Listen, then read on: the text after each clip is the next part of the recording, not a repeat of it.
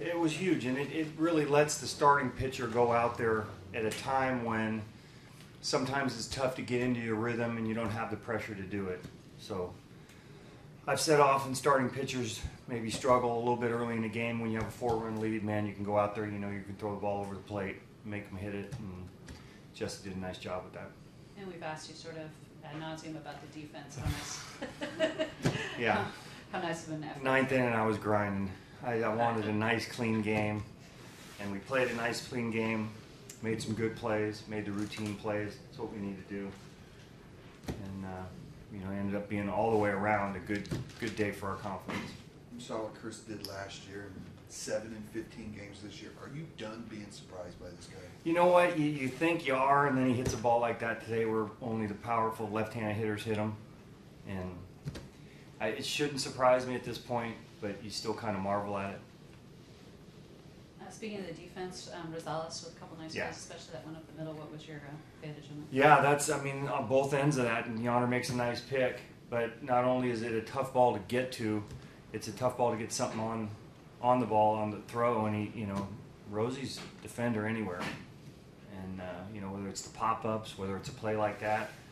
I was saying on the bench, Rosie just likes chasing baseballs, no matter where they are, in the air, on the ground, doesn't matter. He likes likes fielding baseballs. So at the time, it was a big play. You know, I think I believe it was the first batter of the inning. I think, and so you know those those little things add up. What are you seeing uh, specifically with Hahn? He pitched well against the Rangers, I guess, in the relief role before, and here he comes out again. Yeah. There's a premium effort for you.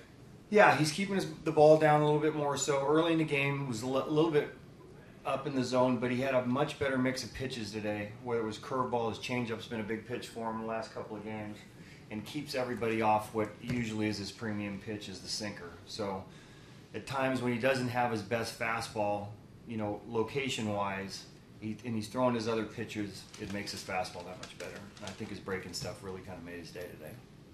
Bob, uh, that's uh, two straight games. The bullpen goes three innings, uh, no runs. That gets you after uh, that rough outing over the weekend. Yeah. Um, we have a lot of confidence in our bullpen. We feel like we have a good bullpen. Yeah. Obviously, uh, Khris Davis's power, but how impressed are you with what Alonso and Pinder showed today? Yeah, no, Pinder's a guy we've been trying to, been itching to get him in the lineup. You know, he's had such a wonderful career in our system, especially swinging the bat and, and you know, getting him in, you know, we try to pick some good matchups for him.